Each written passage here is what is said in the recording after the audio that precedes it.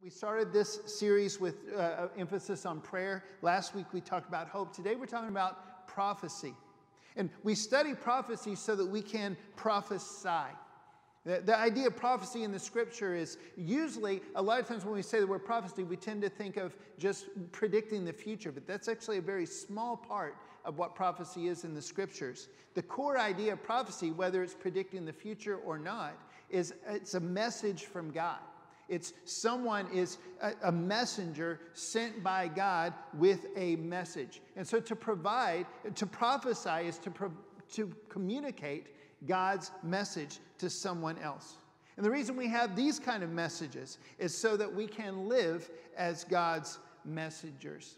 One of my favorite leaders and authors is John Maxwell. Many of you might still have some sort of a uh, sweatshirt that we made many years ago that has this quote on the back. It's one of my favorites. It says, A leader is one who knows the way, goes the way, and shows the way.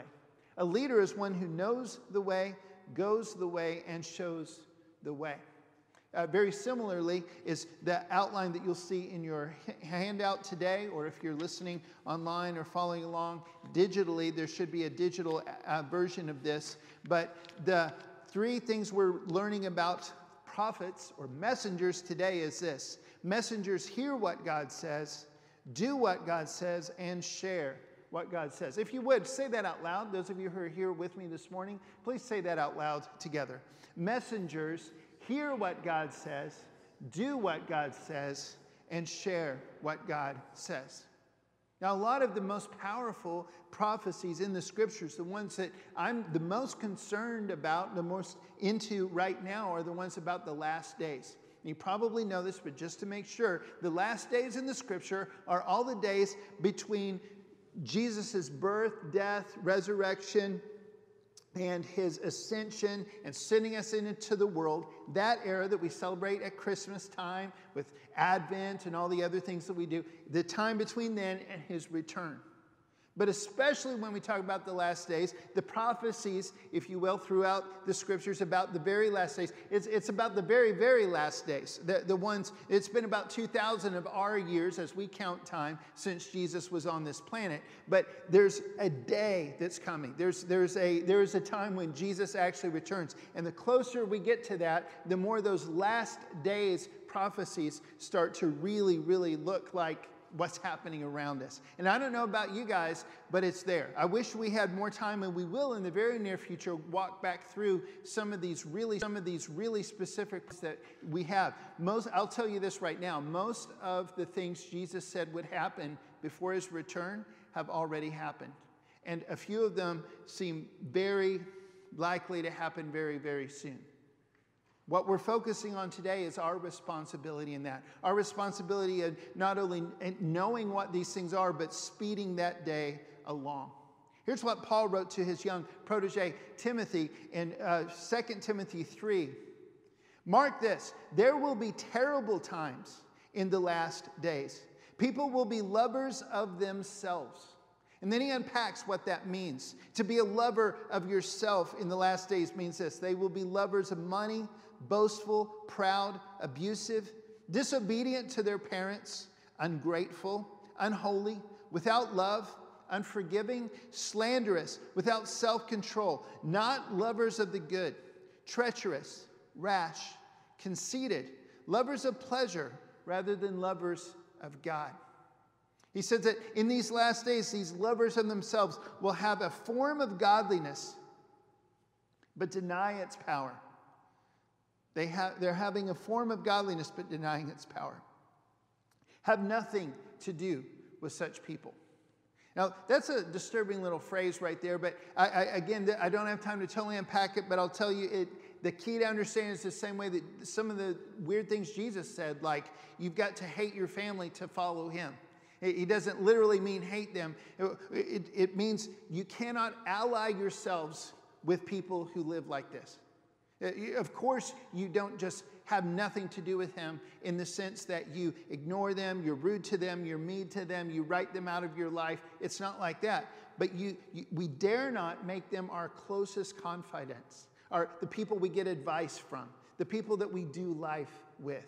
We, we cannot, because the closest people to us shape our lives more than just about any other force there is.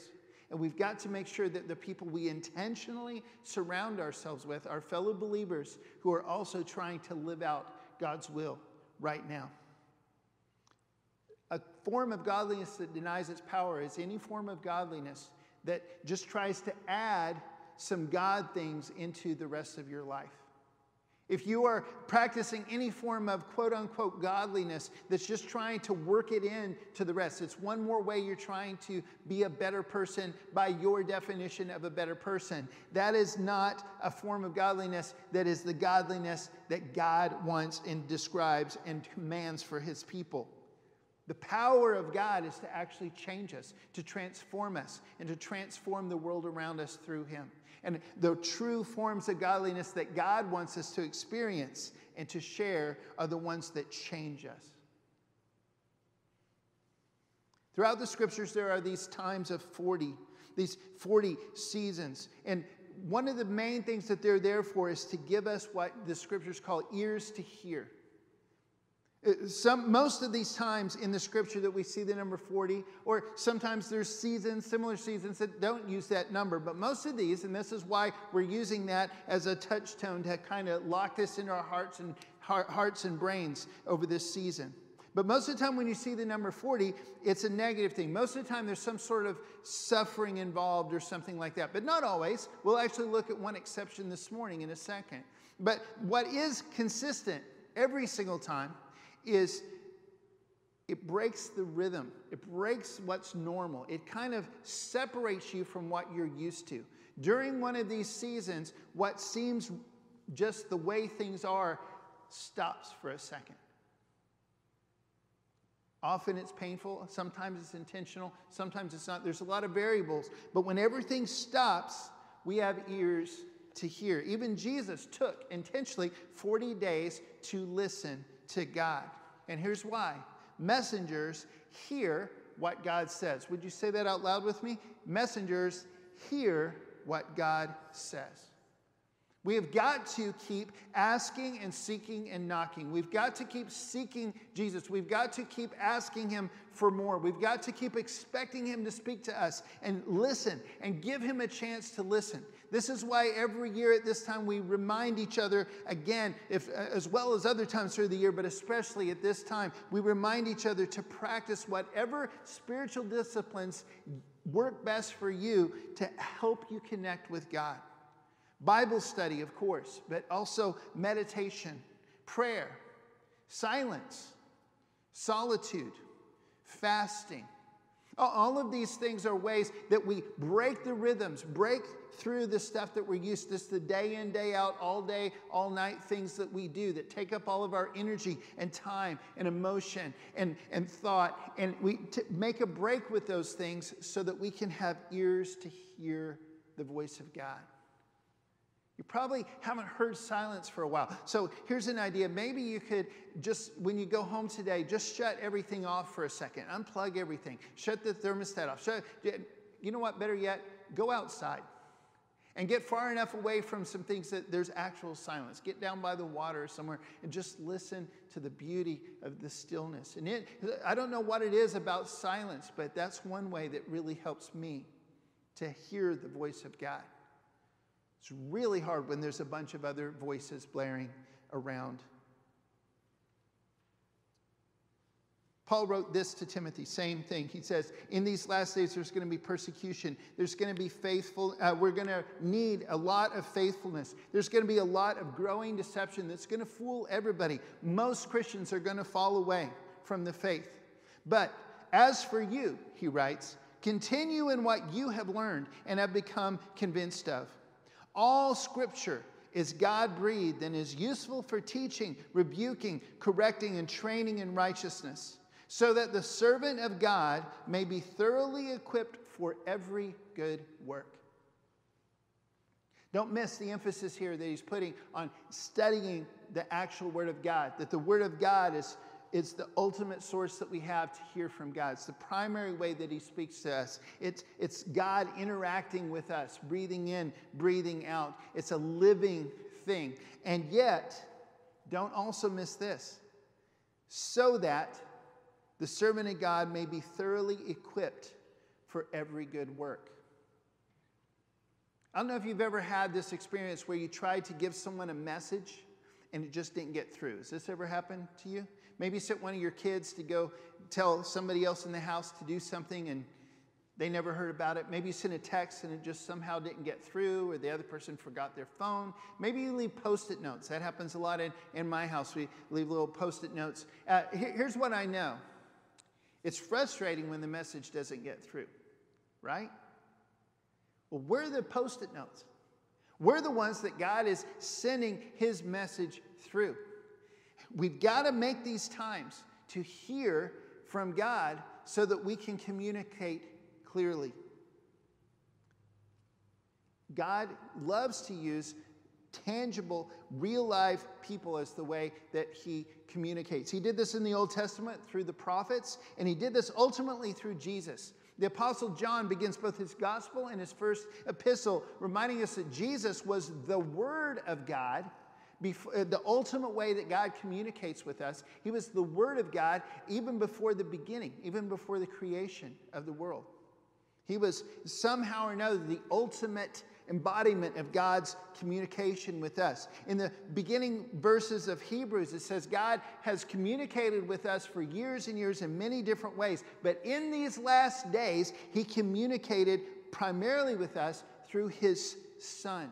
The ultimate prophecy, the ultimate message from God was Jesus Christ Himself. And that whole book of Hebrews is just amazing, unpacking the beauty and the power and everything that Jesus Christ has done. By chapter 10, it's ready to start giving us an action. And here, let me say real quick those post it notes, I know from experience, and you probably do too. If you find a post it note hanging on the door or something, it's probably not just saying, I love you or something.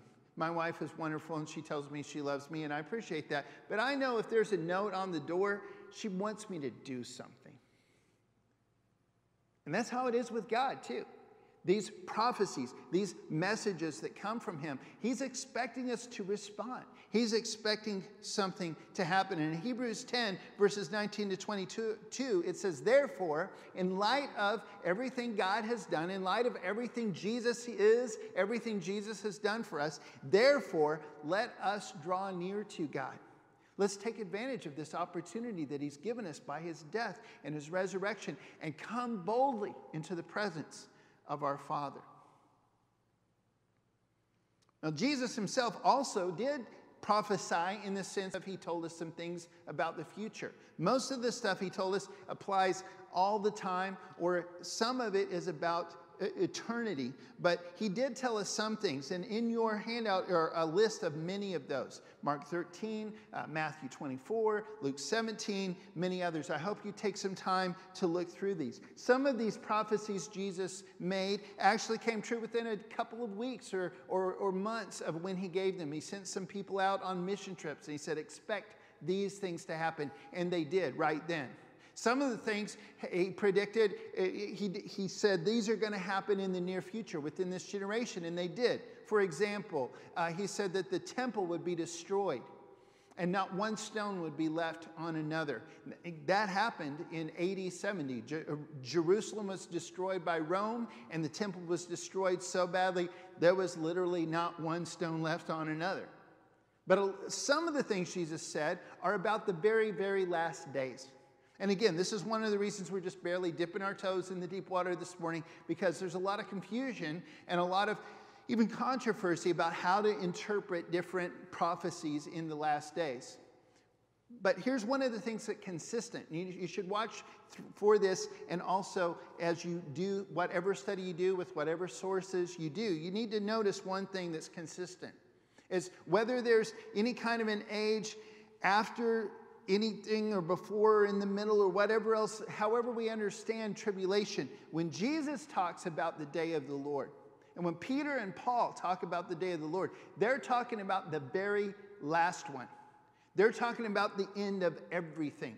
The sun is dark and the moon falls out of the sky. Everything is done, everything's destroyed by fire. It's the very, very end. And this is consistent. Whatever else happens, whatever you, you understand or believe about that, when Jesus is talking about the very, very end, He's talking about the very, very end. Even some of the parables he told are about this. For example, the parable of the wheat and the weeds. You probably heard this one. He said there was a farmer and he planted his fields full of wheat. And then an enemy came and put weeds in among it all. And his servant said, Hey, what if we just rip up all those weeds so the wheat will grow better? And the farmer said, No, let's wait. We'll sort it out at the end. And sure enough, the end comes. And the harvest, during the harvest, they separate it all. And like most of Jesus' stories, the good stuff, the wheat, is it represents something that brings good into the world, something that feeds people. It bore fruit. And the bad stuff, the weeds, are things that do nothing good for anybody. They are a waste of time and energy, and they get burned up. Pretty consistent pattern. But then his disciples come in and said, Hey, could you, could you interpret this for us? They, they said, Could you explain this to us? So he goes, Okay, yeah, I will. The, the farmer is God, the servants are the angels, and the wheat are God's people, and the weeds are everybody who's not God's people. And then he says that phrase again He who has ears to hear, let him hear. If we live as God's messengers, we hear what God says. And I urge you, I pray, I beg you, I dare you, do whatever it takes to make sure that you're hearing what God says. Because that day is coming. And when that day comes, there's no more chances on the other side. When Jesus comes back, the earth will be destroyed and it's done. Not only do messengers hear what God says, they also do what God says. If you would say that out loud with me messengers do what God says. And here's, here's one of the things that's consistent in prophecy as well. He always tells us just enough to, that we can do what he says. He always does just enough that we can, we know what we're supposed to do next. I wish that some of the prophecies were a lot clearer. I wish that it wasn't even, there wasn't any room for controversy. It was just like this exactly, and, and there's no other way to misunderstand it or understand it. I wish it was. It's rarely that clear, it's usually kind of vague. What's always clear are things like Jesus saying, therefore, always be prepared. Therefore, work hard right now. Therefore, there's always a therefore. We've got to put it into practice. One of the few exceptions to 40 being a painful thing is actually, ironically, in the book of Judges. If they ever make a book of a movie of the book of Judges, I don't think anybody will be able to watch it. It'll just be too dark and too gross, and the rating will be too high, and the Christians won't want to watch it because it's gross and the, it's, it's just a dark, dark book. But there's also some fantastic stories in there. And if you've read Judges, and I urge you to because it's fantastic, even though it's dark, here, here's something you'll notice. Several times when there's all this chaos from people just everybody doing whatever they see fit, God will send a champion in, and the champion will fix everything. And then there will be 40 years of blessing, 40 years of peace, 40 years where, again, what they've become used to is mass chaos and everything being broken and being pelted by their enemies constantly and punished nonstop. Suddenly there's a break from that there's a, a period of blessing. And as you look back on your life, I hope you had a chance over the Thanksgiving holiday to do this. But as you look back, I hope you've seen, can see you've had some of those moments too. We all have these dark 40 moments, but we also have some periods of blessing. If you're like me, though, a lot of times you might look back and realize that you, you kind of wasted some of those. Those weren't the moments that you were seeking God the most or doing what He wants the most. But when the blessings come as well as in the hard times, I hope that we take time to do that. More about the last days. In Acts chapter 2, Peter is pre- preaching the first sermon that was ever preached to people after Jesus had died and risen and ascended and sent us out to preach. This is it. This is where it started. Acts chapter 2, he's already talking about the last days. In the last days, God says, I will pour out my spirit on all people. Your sons and daughters will prophesy. Your young men will see visions. Your old men will dream dreams. One of the most beautiful and amazing things that happened in the New Testament and happens now in these last days is that there's not just some old crazy guy on the hill kind of version of prophets. We're all God's prophets. We're all God's messengers. We all have the ability to hear from His Spirit if we listen and we do what He says. We all have the uh, responsibility to share what He tells us. Peter also consistently goes with this, and like Jesus, when he speaks of the last days, he compares it to Noah's flood. Last week we looked at how Jesus did that. Here's how Peter did this. He says, The Lord is not slow in keeping his promise, as some understand slowness and keep instead he is patient with you not wanting anyone to perish but everyone to come to repentance. But the day of the lord will come like a thief. The heavens will disappear with a roar. The elements will be destroyed by fire and the earth and everything done in it will be laid bare. Since everything will be destroyed in this way what kind of people ought you to be? You ought to live holy and godly lives as you look forward to the day of God and speed its coming. Don't miss those two awesome ways that we're supposed to anticipate his coming. We look forward to it and we speed its coming. How do you do that? By obeying him and by sharing the truth. Since you are looking forward to this, make every effort to be found spotless, blameless, and at peace with him. Therefore, again, there's always a therefore.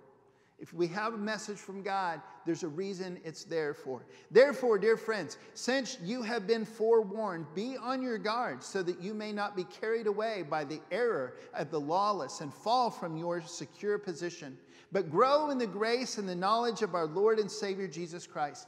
To him be glory both now and forever. Amen. Another wonderful passage, a prophetic passage from Paul, is 1 Corinthians 15. He's talking about Christ's return. He's talking about our new heavenly bodies. It's where that wonderful passage is about death, where is your sting? Death, where is your victory? He also writes this Therefore, my dear brothers and sisters, stand firm. Let nothing move you. Always give yourselves fully to the work of the Lord, because you know that your labor in the Lord is not in vain. Peter again, the end of things is near. Therefore, be alert and of sober mind so that you may pray. Above all, love each other deeply because love covers over a multitude, excuse me, because love covers over a multitude of sins. Offer hospitality to one another without grumbling. Each of you should use whatever gift you have received to serve others as faithful stewards of God's grace in its various forms. If anyone speaks, they should do it as one who speaks the very words of God. If anyone serves, they should do it with the strength God provides, so that in all things God may be praised through Jesus Christ. To him be the glory and the power forever and ever. True prophets do what God says. It's interesting, in the Old Testament, there's so many of the prophetic passages that are just so beautiful and so powerful. Most of them point to Jesus. All of them were specific things God spoke through specific people for specific reasons, just like the messages we're talking about today, just like our lives. In fact, one of them, Isaiah, not only did his book itself, the scrolls that we call now the book of Isaiah in the Old Testament, not only were those so powerful in themselves, he kind of came to represent all of the prophets. And so people would say things like, as written in Isaiah, and it wasn't even Isaiah who said it, but it just kind of, Isaiah kind of represented all that. But I think it's interesting, at least, to notice that in the mountain of transfiguration, when Jesus was transformed into his glorified body, and some of his disciples got to see that. Moses and Elijah showed up, not Moses and Isaiah. I don't really know why the Bible never 100% explains that. But here's, here's one of my guesses Elijah doesn't even have a book, but he's known for, but he's known for getting stuff done about Elijah was he was somebody who sought God. And he was another person who went up on a mountain was with God 40 days and 40 nights. I think that might be significant.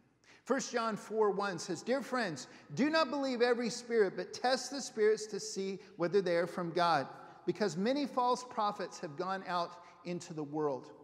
As we start to wrap up this morning, we're about to see one more huge truth and, uh, and a challenge I want to give you, but please don't miss this. Please don't let me lose you wherever you are. You've got to hear this. There's some really practical stuff here at the end. And one of those is this there are two ways to know if there's someone is a false prophet. One is obviously if they give a prophecy and it doesn't happen, it's obviously not a message from God because God is never wrong and God doesn't lie. But sometimes, if you make a prophecy and maybe it's five years out or something like that, you'd have to wait a long time to see if that person's really a false prophet or not. Here's the other way to know if they do what God says, are they living it out? I'm thankful my dad reminded me to share that with you this week. I might have forgot. That's such a powerful truth. But false prophets are people whose lives don't express the same message as what they are saying. That's why the writer of Hebrews, same chapter 10 that we just read through from a second ago, says this Let us hold unswervingly to the hope we profess, for he who promised is faithful. If we live as God's messengers, we will hear what God says and we will do what God says. But we also, don't miss this part, we also share what God says. I mean, that's kind of the gimme idea of what a message is about, right? You're supposed to say it, you're supposed to share it. Share this with someone, of course. But sometimes that's the hardest one. And for some reason, we just don't get around to that one. For some reason, it's easier, whether it's through things like Advent or whatever, it's easier to find ways to hear from God or even to obey God in our own lives than it is to create ways, find ways, do whatever it takes to actually share the truth, not only with our words, but with our lives. But we've got to be intentional about this, to be God's message, messengers, to be God's prophets in this last days era. We have got to share the truth with the whole world. Even back in the Old Testament, Isaiah said, uh, Turn to me and be saved. These, these are God's words through Isaiah. Turn to me and be saved, all you ends of the earth, for I am God, and there is no other. This message is not going to reach the ends of the earth unless we take it there. Another one of the great prophets that I really love in the Old Testament was Ezekiel. I hope that you go back and reread Ezekiel. The whole book is great, but especially chapters 3 and 37 sometime this week, maybe today. In chapter 3, God is calling Ezekiel and he lays out three scenarios for what's going to happen if, Uh, if Ezekiel gets some messages from him. He says, Here's what's going to happen, Ezekiel. First thing, this is the dream. I'm going to give you a message for people. You're going to take it to them. They're going to repent and respond, and they're all going to be saved, and you get to be part of that equation. You did what I told you to do, and they're all saved. That's the dream. But there's two other scenarios. Second one is this you're going to do what I told you. You're going to take that message to them. They're going to reject it. They're not going to do what I want them to do. Well, in that case, they're still going to die in their sins, but I'm not going to hold you responsible because you did what I told you to do, Ezekiel. I gave you a message and you took it and you presented it and you lived it. Good job. You're off the hook. The whole guilt is on them. But there's one more scenario. He said, Here's the other thing if I give you a message and you don't give it to them, then they're going to die in their sins, and the blood's also on your head because you didn't do what I told you to do, and that's why they don't know. That is a scary passage, y'all. But that's also speaking to us today. There's hope in there, though. Ezekiel is also the guy that, chapter 37 is that beautiful vision of the valley of dry bones. And that's always what God is about. That's always his heart. It's bringing what's death to life, bringing what is broken and healing, creating healing in that. To take what is dead, make it alive. To take what is broken, make it whole. To take what is bad, make it good. And fully equip us and fully prepare us so that we can get his job done. Probably the worst prophet, in my opinion, he is absolutely the worst prophet, was the prophet Jonah. And by the definition, just a few minutes ago, I, I, would, I would even call him a false prophet. The things he shared were true, but he did not live it. I, I just got to be honest. We're, we're, right here at the end. Please, please keep listening. This is so important. But I, I got to share part of it. I, if I'm totally honest, I'm a little bit jealous because I, I hear from God. I seek Him and I give Him a chance to hear, uh, to talk to me, and I do hear from God. But the way Jonah hears, he doesn't even want to hear from God, and God's like, Jonah, go into Nineveh. He talk, He just talks to him. He interrupts whatever else he's doing, ignoring God, and just talk. Man, I'd love God to do that to me sometimes. And I'm like, hey, why don't you talk to me like you talk to Jonah? So he kind of irritates me a little bit. But even worse than that, here's the thing this guy is amazingly gifted. He's incredibly gifted. Even with his bad attitude, God uses him to share this simple message with Nineveh, and the entire place repents and comes to God. And yet, the whole time, his attitude is on another planet than where it's supposed to be. The whole time he's mad at God for calling him. He doesn't just not get around to it, he runs as far away as he can. He tries to get himself killed rather than obey God. He makes God jump through all kinds of hoops just to get him to obey in the first place. And then when he finally obeys, he, he's mad that God actually uses him. He's mad that God blessed him in his talents and his obedience. He's upset that God does it. And the book ends with him pouting on the side of a hill that God had saved an entire nation through him. His life, his attitude, his heart, everything about him doesn't match the truth of what he was proclaiming. We dare not be that person.